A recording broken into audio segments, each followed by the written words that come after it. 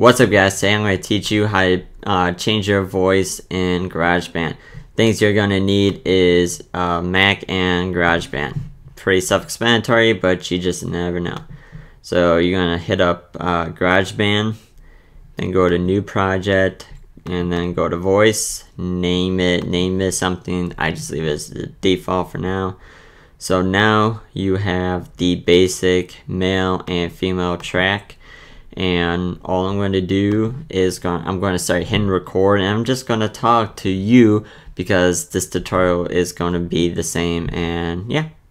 So after that uh, we play it. I'm going to start hitting record and I'm just going to talk to you. Okay so you see my voice is very high. So what I'm going to do is going to double click on male basic and then over here we have uh, the pitch and uh, going backwards obviously um, lowers the voice. So if you want to do like a witness protection uh, type deal it could go there or it could go really high.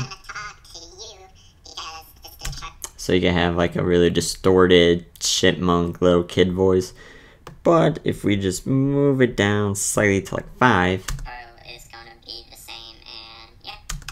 So you kind of you you're kind of more getting into like the natural. If you want to like troll people on um, on Call of Duty or something like that, uh, this would actually work pretty well.